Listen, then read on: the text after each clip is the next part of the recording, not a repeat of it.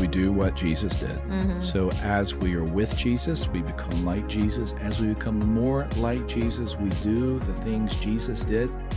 And the simplest understanding of what it means to do what Jesus did is we become living demonstrators of love in the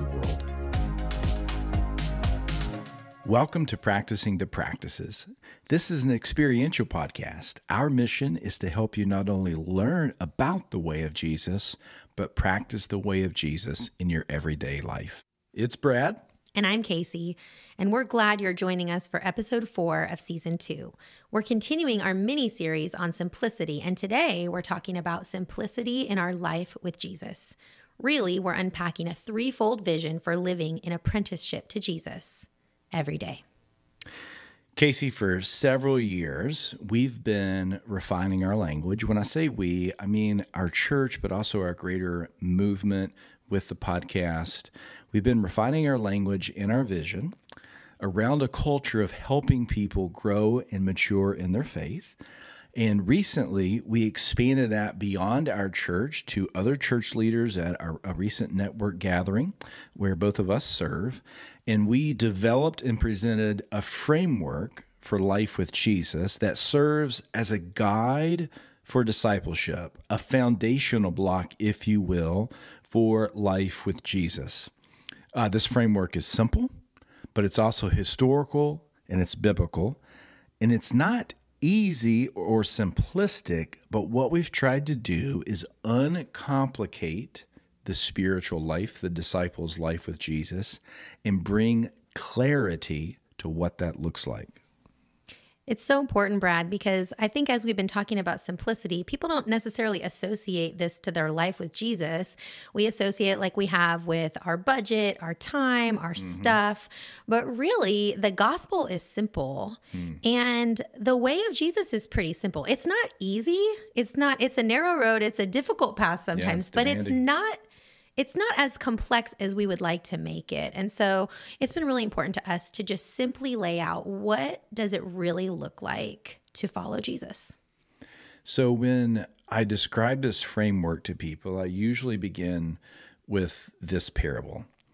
So my father was the quintessential blue collar mechanic, plumber, handyman. And to help me and my brothers go to summer camp and play baseball and those sorts of things, he would do side jobs on the weekend or sometimes week weekday evenings, and he would bring me along as his apprentice. And in the early days, when I'm, you know, preteen, 10, 11 years old, I would just essentially follow my dad around on the job site and watch and observe. I would pick stuff up. I was the cleanup guy. Eventually, I progressed to the I know what the tools are called, and so I could go and fetch a tool and give it to him. But as time went on, I kind of transitioned from merely being with him and observing to participating with him, sharing in the job. So next thing you know, I'm I'm cutting pieces of pipe or I'm screwing this part into, you know, whatever apparatus we're working on. And then eventually I actually began to share in the jobs and I would do a part of it, like unsupervised. He might come and check and make sure it was working.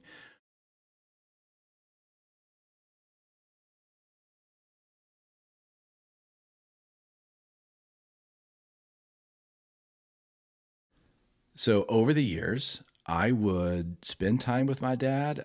I became like my dad, and my mom would say in more ways than just you know kind of handyman kind of stuff. We like I like the same kind of movies as he did, you know, just typical father son stuff. But I began to do the things that my dad did. So now here I am as a grown adult. I just remodeled my daughter's bathroom. I fixed my refrigerator and that is not because I went to some sort of trade school or anything. It's it is a result of the apprenticeship I had with my dad. And I think that is a bit of what I think Jesus invites us into. In Matthew chapter 4, we have the initiation of Jesus' ministry. Jesus invites this group of men and even women to go on this journey with him. And it is a history changing moment, but it didn't begin with large scale marketing. Like this wasn't some sort of like Roman strategy situation. Jesus simply invites this group of prospective disciples to follow him. So you'll like this, Casey. Recently, I've been preparing to do some training with pastors in Africa. And this African pastor who is leading this church planning network, it's it's kind of ridiculous that I'm coming over to do training. They should be training us. Hmm. But they have this group of disciples and they call them potentials. Hmm. So they're like new converts. They're earlier in their walk with Jesus, and he has labeled them as potentials because he's imagining that they're going to be able to plant churches, lead small groups, do all these things in these remote parts of Ghana in West Africa. Well, Jesus essentially uh, taps some potentials, and his invitation was, Follow me. I, I think this is really important, Casey. His invitation on the front end was not come and die. Right. His his first invitation was not take up the cross and follow me. Like we love those. Those are super inspirational.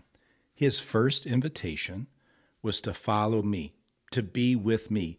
The language we like to use is to abide or be with Jesus. That's such a beautiful story about you and your dad. And I love how that just illustrates so beautifully what it looks like to abide. What I'm also hearing you say is is that you're volunteering to come do free plumbing work at my house when things break down. Like the disciples often misunderstood Jesus parables, you missed that one. Um, my husband is not really into okay. For you, Casey, plumbing work, I and will. so when my garbage disposal breaks, I'm going to be calling you. yes. But the general audience listeners, we love you. But no, my wife says no. For you, Casey, yes. Okay, that sounds great. So, when we think about abiding, I really loved the way J.C. Ryle encouraged his readers to keep up a habit of constant, close communication with Jesus, to always be leaning on him, resting on him, pouring out our hearts to him, and using him as our fountain of life and strength, as our chief companion and best friend. What do you mean when you talk about abiding, this first piece of our model? Well, the reason we use the word abide is because that's the language of John in the New Testament. So when John is describing life with Jesus, he has this metaphor of the vine and the branches, right? And the healthy, fruitful branches stay connected to the vine, right? Mm-hmm. And, and we get that metaphor. And that's what we're talking about in abiding that when you stay connected to Jesus, and there are multiple ways we do that, right? So we have his written revelation, right? We have him revealed to us in his word. So when we spend time in the word, we meditate on his revelation to us when we're abiding. When we are conversing with our Heavenly Father through prayer, we're abiding when we take some time in silence and solitude, maybe next to a river, and we are observing the glory of creation, we're abiding. Those practices allow us to stay connected through the power of the Holy Spirit to the divine. And this is not as mystical as we imagine it. We have a creator. God designed and intended for us to be in meaningful relationship with him and that's the invitation. So when we talk about abiding uh, there is a very sense in which we are saying in the same physical way in which the disciples spent time with jesus listen to jesus teaching we do the same. We spend time with jesus we listen to his teaching we learn from him. Again, not complicated, but not easy either. I think this abide piece is a missing piece in a lot of people's model of spirituality because we want to kind of get stuff done. We want to do mm-hmm. things that are measurable. And so at the end today, when we practice, we're going to really talk a little bit more about it, what it looks like to actually practically abide. But what's the second piece of this model, Brad? The second piece is what we call holiness. Jesus invited his disciples to follow him, to observe from him, and over time they became like him. So, back to my original parable, if you were to talk to my mom, you know, there's certain character traits I have, certain tastes in movies, in food, in pie, in, in some of the work and hobbies I have that are similar to my father's that are primarily a result of just being around him, right? And the more you abide with Christ in his word, in prayer, in meditation, all of the many of the practices that we've talked about here, the more through the power of the Holy Spirit, Jesus begins to form and shape us. So, another biblical metaphor, right? The potter and the clay, right? The way the, the potter wets the clay, molds the clay, heats the clay, begins to decorate the clay. Jesus does that with our inner and outer selves, with our hearts, our anxieties, our disposition to love. He shapes us. He begins to root out. So so again, you've you've mentioned this a few times. Simple but not easy. So when the sanctification process happens and the spirit of God is rooting out anger, impatience, lust, all of those things, that that that's surgery, right? It's not a good time. It's it's it is surgery and there's oftentimes a recovery period. That is God working into us to make us holy. So, holiness is maybe one of the more underappreciated aspects of discipleship today. I think there's a great appreciation for the wellness aspect of abiding. You know, even non Christian people have, are moving towards spirituality, mindfulness, those sorts of things. And then, little preview here our last bit's going to be love. People are pro love. Mm-hmm. But in the Jesus vision, there is a dying to self and coming a life into the image of Jesus that is really demanding for sure. What I love about this model, though, and the way that God has set this out is that this comes as a result of abiding, not as a result of striving. So I mm. think a hmm. lot of times we can really emphasize rules or getting it right or doing everything perfectly and think that that's holiness. And yes, this will result in a change in our choices and our behaviors and our desires, mm. even, but it's coming from being with Jesus. It's not coming from striving and seeking perfection. Yeah, and there is a kind of striving that we do that is driven by grace, right? So there is, and again, this is where we got to read the scriptures through the ancient Eastern eyes of the original readers. When they think about striving, they don't connect it to achievement the way we do, right? I mean, there is some language in the New Testament, I press towards the prize, the high calling, but mm-hmm. what is Paul after? He is not after some sort of moral benchmark. What he is describing is my ultimate achievement is union with Jesus. Like his striving is to abide better, hmm. right?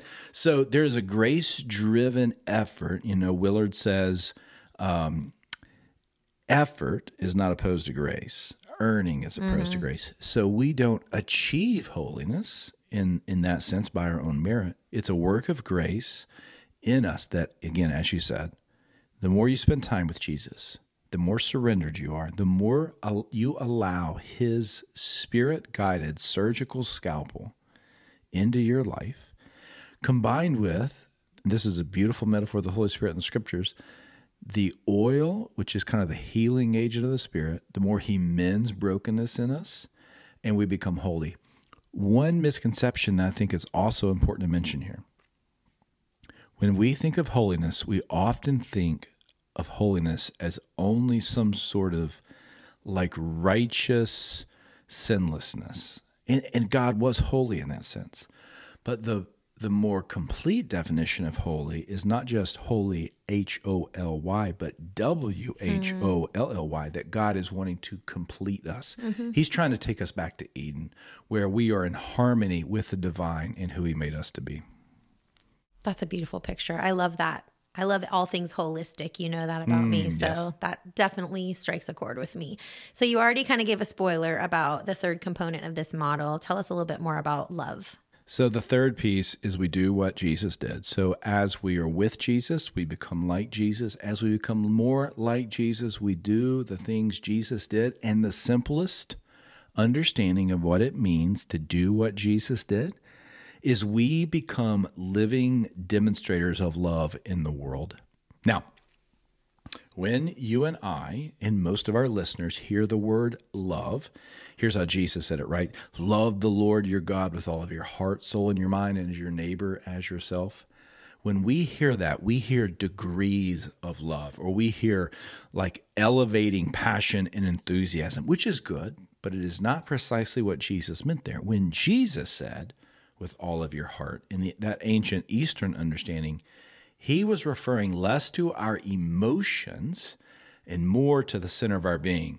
The Greeks would have called it our ethos, we would kind of understand it as our deepest uh, sense of self, our values. It's kind of it's what determines you know our behavior. And so what Jesus is saying when he tells his disciples, like he and he tells the the the teacher he's trying to trick him up, hey, what's the most important thing? And he says, love the Lord your God with all of your heart, with all of your soul, and with all of your mind. He is saying, love God with all of your life, your career, your recreation, your money uh, your hopes, your dreams. Love Him with all of that, right? And love your neighbor like yourself. Hmm. And so when Jesus is tested, okay, what does neighbor love look like? Jesus tells the famous story of the Good Samaritan, which to his original audience would have really clearly articulated that love is not just about you and your homies. It's not about just you and your BFFs going for coffee and loving one another but it is very much about loving the person who's other on the margins, the outsider, right? That was the Samaritan. And so the point is love of God and love of others requires sacrifice. So when you think love, we want to think more than sentiment. That's kind of the American way. Love is sentiment, Hallmark cards, Hallmark movies, no offense. but love is sacrifice recently I've really been drawn to the work of Bob Goff. I mean, it's not anything new, but I've just been reading a lot about a lot of his thoughts lately on love. He has some really great thoughts on it. And his book is actually called Love Does, ex- summing up exactly what you're saying right now. He says, Love is never stationary in the end.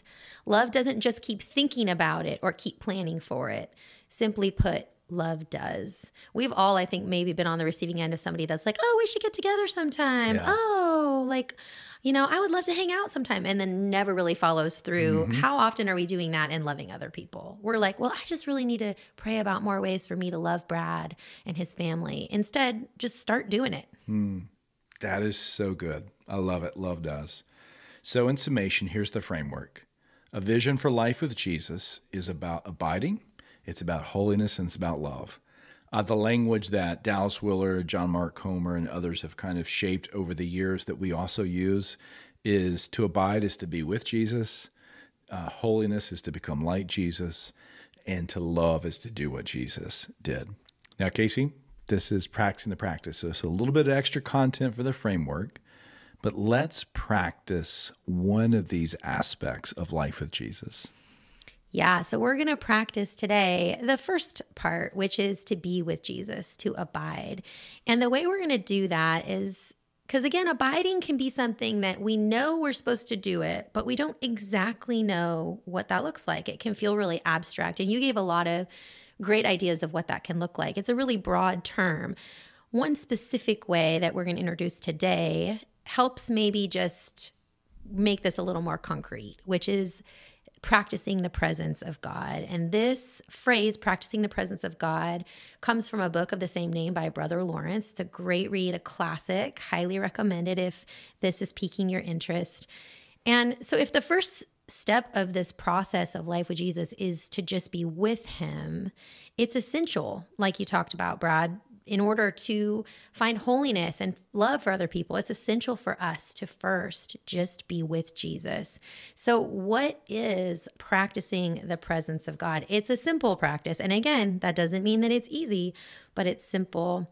The Gospel Coalition describes this practice as growing in being aware of and responding to God's presence, increasingly being consciously present in the presence of God. I love the way Paula D'Arcy said, God comes to you disguised as your life. That is a beautiful picture of wow. what, yeah, practicing the presence of God is. Do we believe that God is as present in this moment of driving or doing the dishes or meeting with your boss or sitting in an English class? Is he as present there as he is when you're in church or reading your Bible or praying? He's there, he's revealing himself when you're stuck in a conversation with that person who annoys you, or when you keep getting interrupted while you're trying to get work done, or when you're walking your dog in the park. God is, so this practice really is coming from the assumption that God is in all of these moments. God comes to you disguised as your life. C.S. Lewis says, We may ignore, but we can nowhere evade the presence of God. The world is crowded with him. He walks everywhere incognito. So, our practice today is simply to start to notice God's presence with you, whatever you're doing for the rest of this day. Or if you're listening to this at night tomorrow, same thing. So, before the transitions of your day, ask God to make you aware of his presence with you in the next activity, no matter what it is. And while you're in that activity, be on the lookout for God. Karen Mains wrote a book that's called God Hunt, and she really talks about this practice like going on a God hunt in your day, being aware of how God might be speaking to you in the ordinary and even mundane moments of your day. Adele Calhoun suggests that throughout the day, whenever you find yourself interrupted, you say to God, I'm here, knowing that God is often speaking to you in the interruptions. So, for the next part of your day, no matter what you're doing, give yourself a little prompt. Say to God, I'm here and I'm looking for how you are present in this moment with me, God. And then noticing really that are the things that are spiritually significant or the spiritual themes of even the mundane activities that you're we would might tend to view as non-spiritual and really pray through those things like doing the dishes like walking your dog. I really love the book every moment holy by douglas mckelvey and he gives really good examples of how things like cooking or nature i think he even has one about beekeeping. I don't beekeep but if i did i would be praying this liturgy that he's written can have so many beautiful spiritual themes. So practicing the presence of god simple but also a reframe of our mind that whatever I'm doing, God, you're present and will you show up? I'm on a God hunt for you for the rest of this day. Will you show up and reveal yourself in whatever I'm up to? Casey, that's so consistent with the Jesus of the New Testament, who would often take a fish hmm. or a piece of bread or an empty vase or, or a bird. Yeah. Or a wildflower. All of those things and connect it to relationship with the Father. Mm-hmm. So, folks, thanks so much for listening to Practicing the Practices. And as much as we are grateful that you listened, maybe even subscribed, we want you to practice it. So, right now, let's practice the presence of Jesus. This is Brad for Casey. Again, thanks for listening. Make sure you subscribe, share this with someone who might benefit from it. Until next time, grace and peace.